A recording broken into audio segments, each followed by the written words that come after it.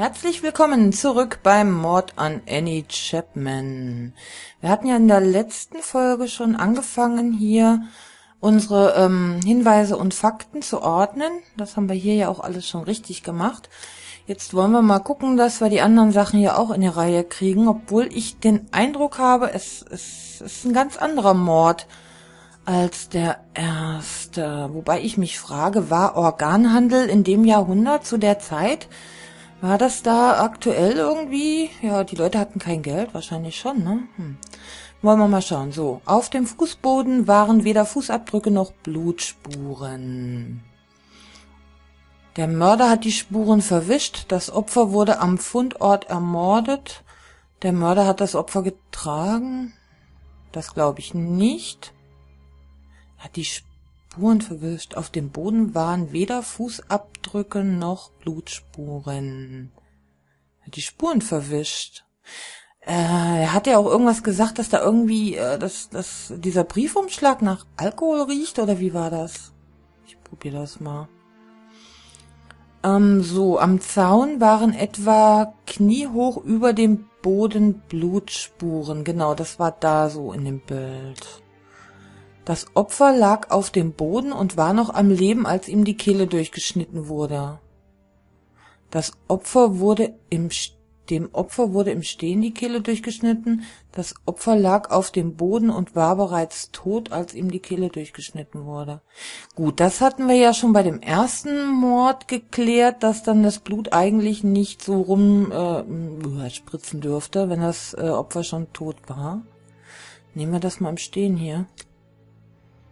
Okay, dann haben wir hier die erste Schlussfolgerung. Chapmans Mörder hat den Boden sauber gemacht. Chapman wurde am Fundort ermordet. Chapman wurde nicht am Fundort ermordet. Also wenn sie schwierig. Wenn sie nicht hier ermordet wurde, dann könnte es eigentlich nicht sein, was macht hier das Blut und was macht da das Blut. Also sie wurde, glaube ich, schon hier ermordet. Hat den Boden sauber gemacht, oder? Am Fundort ermordet? Äh. Hm, also ich denke, er hat es sauber gemacht. Aber wenn er die Spuren verwischt hat, warum hat er dann nicht gleich das Blut auch weggemacht? Das Opfer wurde am Fundort ermordet. Nee, auch nicht. Der Mörder hat das Opfer getragen die Spuren verwischt. Hm. Es wurden keine Fußabdrücke gefunden, aber trotzdem war Blut an den... Oh Gott, oh Gott, oh Gott, oh Gott, oh Gott. Etwas Blut ist an die Wand nahe der Treppe gespritzt. An die Wand nahe der Treppe gespritzt. Hat er sie vielleicht doch dahin gezogen? Kann das sein? Wo war denn das hier getragen? Und was hatten wir hier? Nicht am Fundort ermordet. Auch nicht. Mann, warum? Ach. Auf dem Boden waren... Oh, ich komme jetzt gerade hier nicht weiter. Okay, gucken wir mal hier unten. Auf Höhe, de, oh, jetzt geht das wieder los, rechts und links.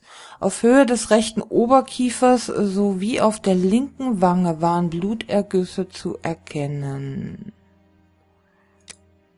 Ja. Der Mörder hat mit der rechten Hand das Kind des Opfers gehalten. Der Mörder hat das Opfer gebissen? Äh. Der Mörder hat mit der linken Hand. Manu. Moment, wie war das noch? Äh, Watson hatte doch gesagt. Moment. Wo war denn Dialoge? Hier. Er hatte doch was gesagt, dass es auf der einen Seite nicht so stark war wie auf der anderen. Ah, hier. Unterhalb des Oberkiefers und auf der Wange. Auf der rechten Seite weniger. Oh. Hm. Ja, von uns aus rechts oder von ihr aus rechts. Also nehmen wir auch hier mal an von äh, uns aus rechts. Da waren weniger Spuren. Womit macht man denn am meisten Druck? Nehmen wir mal an, wir halten jemanden das Gesicht zu. Wir sind äh, Rechtshänder. halten jemanden die Hand ins Gesicht und drücken zu. Dann ist doch die meiste Kraft mit Sicherheit im Daumen, oder? Und der Daumen wäre dann ja auf der linken Wange. Sehe ich das jetzt richtig oder bin ich jetzt wieder völlig falsch? Unterhalb des Oberskiefers und auf der Wange auf der rechten Seite weniger. Auf der rechten Seite weniger. Ah, schließt das jetzt wieder darauf hin, dass... Oh Gott, scheiße. Hm, auf Höhe des rechten Oberkiefers sowie auf der linken Wange waren Blutergüsse zu erkennen. Ja, aber links mehr als rechts. Links mehr als rechts. Dann nehme ich mal an, er hat das äh, mit der rechten Hand. Ich nehme jetzt mal die rechte Hand. Okay, was haben wir jetzt hier? Der Mörder hat dem Opfer mit der rechten Hand die Kehle durchgeschnitten. Kann er ja nicht. Ich glaube, das ist ein ganz anderer Mörder hier. Der Mörder hat mit der rechten Hand das Kinn des Opfers gehalten. Dann müsste er mit der linken. Links. So mache ich das jetzt. Chapmans Mörder muss Linkshänder sein. Chapmans Mörder muss Rechtshänder sein. Chapmans Mörder ist Beidhänder. Links. Mhm. Ach, Beidhänder. Ach, leck mich. Die Zunge war geschwollen. Versuchen wir das. Das Opfer wurde gewürgt, das Opfer hatte Durst. Ja, das bestimmt auch. Das Opfer hat während des Angriffs geschrien. Das Opfer wurde gewürgt. Oh, hier ist ja alles falsch. Chapman wurde gewürgt. Der Mörder hat A. Chapman bis zur Bewusstlosigkeit gewürgt und ihr dann die Kehle durchgeschnitten. Chapman ist vor Angst gestorben. Hm, hm, hm, Wir hatten das doch schon. Das verstehe ich jetzt irgendwie nicht. Chapman wurde gewürgt. Nein. Das wird jetzt hier sinnloses. Sinnloses, sinnlos. Das wird sinnlos jetzt gerade hier. Na gut, ähm, Nahe dem Kopf des Opfers lag ein Briefumschlag. Das Opfer hat einen Briefumschlag hervorgeholt. Ja, klar, warum? Hm. Ein Briefumschlag ist neben den Kopf der Leiche gefallen. Das Opfer wollte dem Mörder einen Briefumschlag geben. Vielleicht hat der Mörder auch einfach den Briefumschlag verloren. Während des Mordes fiel ein Briefumschlag auf den Boden. Ja, offensichtlich. Chapman hatte einen Briefumschlag in der Hand. Der Briefumschlag gehört dem Mörder von Chapman. Hm. Okay, also hier ist äh, äh, alles falsch. Hier ist alles falsch. Verdammt. Auf dem Boden waren weder Fußabdrücke noch Blutspuren. Hm. Ja, auf dem Fußboden nicht, aber doch hier an der Wand. Und was heißt das jetzt? Verstehe ich nicht. Der Mörder hat die Spuren verwischt. Was sagt denn... Moment. Was sagt denn äh, Holmes wegen diesem Briefumschlag? Zwei Einschnitte zu erkennen, Zunge ist geschwollen, Blutergüsse unterhalb. Ähm, Organe entnommen. Oh, Organe entnommen. Ja, Fachmann, wo ist denn das mit dem Umschlag? Leichenstarre, bla bla. Hm. Ich finde das mit dem Umschlag gerade nicht.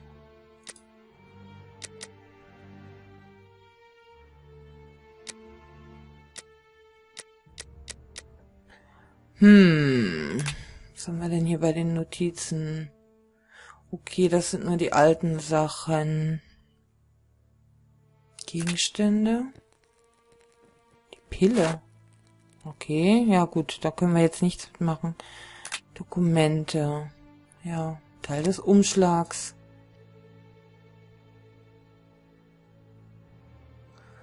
Ähm. Wo sagt er denn das mit dem Alkohol?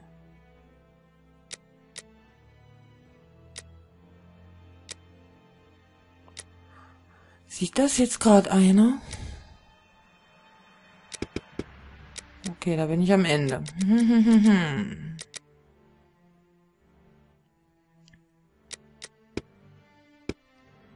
hm. Ja gut, hier geht's nur zurück. Wir sind aber jetzt hier. Und ich finde das mit dem Alkohol nicht. Warum nicht? Gegenstände, Dialoge, Dokumente, Notizen. Ja, Karte ist klar, fortsetzen. Hä. Hm. Habe ich noch irgendwas hier übersehen? Da ist doch noch was. Dieser Zaun trennt den Hof vom benachbarten Grundstück. Hanbury Street 27. Ja, super. Und was heißt das jetzt? Hm. Oh, da ist auch noch was. Ein Klo. Was für ein Gestank. Da drinnen versteckt sich niemand. Kann man nicht wissen. Also wenn da Leute aufs Klo gehen. Oh, was haben wir hier? Was haben wir denn da?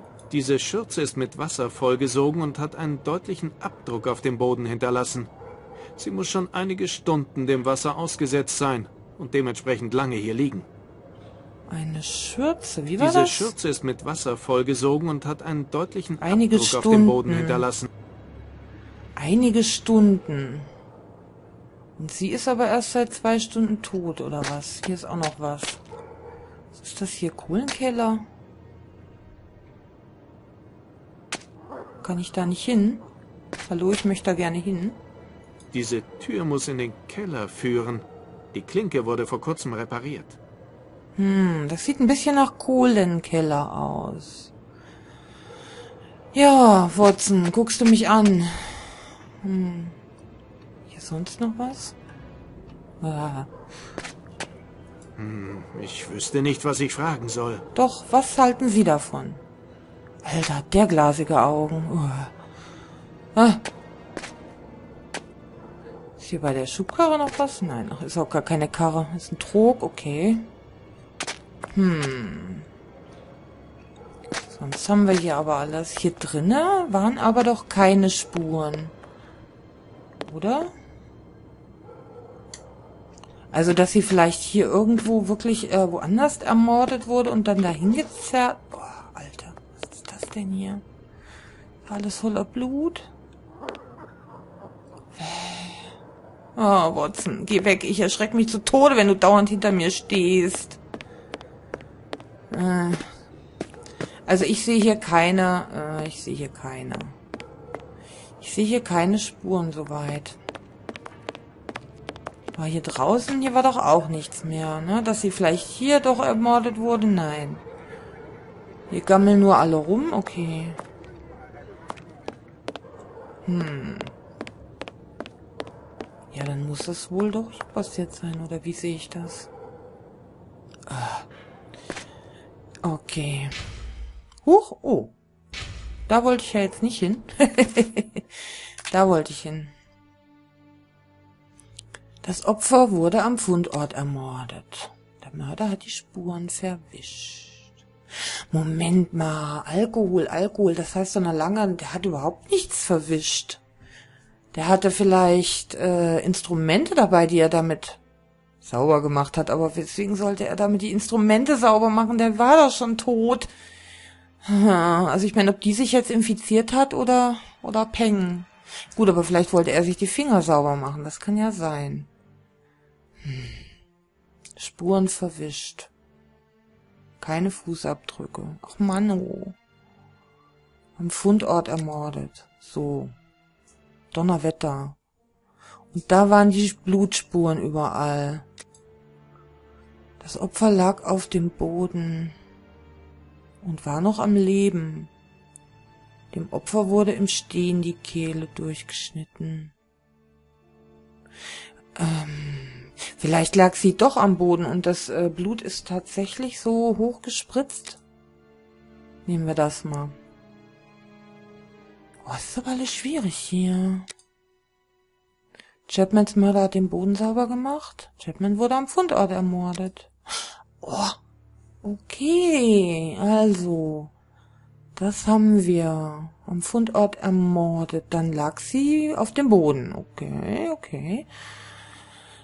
Ähm, so, hier jetzt weiter. Auf Höhe der rechten, des rechten Oberkiefers sowie auf der linken Wange waren Blutergüsse zu erkennen. Der Mörder hat das Opfer mit der rechten Hand am Kinn, bla bla. Das macht mich fertig. Also ich bleib jetzt mal bei der rechten Hand. Linke Hand, Kehle durch. Ja. Chapman wurde erwürgt. Ist vor Angst gestorben? Auch nicht. Hat Chapman bis zur Bewusstlosigkeit gewürgt? Ach, kann das sein? Sie war nicht tot, sie war nur bewusstlos. Er hat ihr die Kehle durchgeschnitten und den Rest und dann, weil das Herz ja geschlagen hat und so, ne, Blubber und Blutspritzknochen fliegen? Ja. Okay, das war's. Sie war nicht tot. Ähm. So. Chapmans Mörder ist beidhändig. Beidhänder. Also ich glaube, der war Linkshänder. Das klappt hier nicht. Aber ich könnte schwören. Mano. Oh, der war beidhändig. Auch nicht.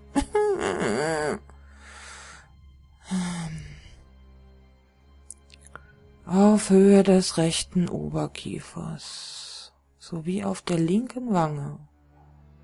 Rechter Oberkiefer, keine Ahnung, linke Hand, rechte Hand Kehle, Rechtshänder. Aha. Aha, okay, jetzt kommen wir wieder zum Rechtshänder. Hm, hm, hm. Die Zunge war geschwollen. Das Opfer wurde gewürgt. Ja, das haben wir doch hier oben jetzt schon geklärt. Das Opfer wurde gewürgt. Durst hat es vielleicht auch, das mag sein. Hat's geschrien? Ist das wichtig? Also ich bleib mal hier bei dem gewürgt. So. Nahe dem Kopf des Opfers lag ein Briefumschlag. Ja, ein Briefumschlag ist neben den Kopf der Leiche gefallen. Das ist ja. Hm. Das Opfer hat einen Briefumschlag hervorgeholt. Aber warum? Ich gehe doch davon aus. Ich verstehe es nicht. Warum sollte die einen Briefumschlag herausholen? Das Opfer wollte dem Mörder einen Briefumschlag geben. Für was? Normalerweise hätte ja der Mörder bezahlen müssen. Also nehmen wir mal an, da war Geld drinne. Briefumschlag. Tja, also ich hätte jetzt gesagt, der, der Mörder hat den Umschlag verloren. Chapman hatte einen Briefumschlag in der Hand. Hm. Ja, das ist jetzt dummes Rumprobieren. Aha, okay. Das ist es. Das Opfer hat einen Briefumschlag hervorgeholt und äh, sie hatte den Umschlag in der Hand. Was hat's jetzt mit dem Umschlag auf sich? Sehr merkwürdig. Na gut, hier haben wir ja auch noch was. Ach je. So, ein Einschnitt erstreckte sich von rechts nach links über den Hals. So, was haben wir jetzt hier? Das Messer des Mörders war für das Verbrechen ungeeignet. Das Messer des Mörders hatte eine sehr scharfe Klinge. Der Mörder geriet in Panik. Mhm.